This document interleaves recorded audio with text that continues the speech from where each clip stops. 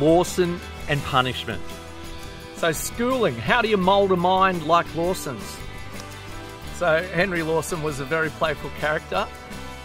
Lawson expresses pain and sorrow that he was actually kind of a teacher's pet, playing on it within a uh, short poem that he wrote in the punishment book when visiting his old school at the age of 37, April 20th, 1914.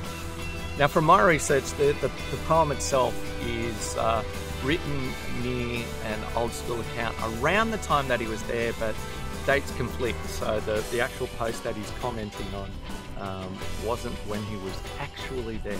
So A dirge. I took the book of punishment and ran it columns down. I started with an open brow and ended with a frown. I dropped on long forgotten names. They took me unaware. I noted old familiar names, but my name wasn't there.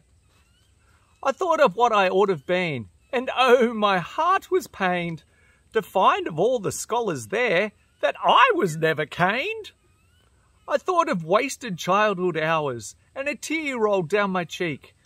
I must have been a model boy, which means a little sneak. Oh, give me back my youth again. Doc Faustus used to say, I only wish the powers would give my boyhood for a day. A model boy, beloved of girls, despised by boys and men.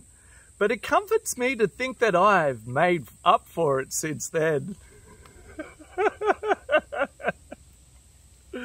oh, it's funny. That's good.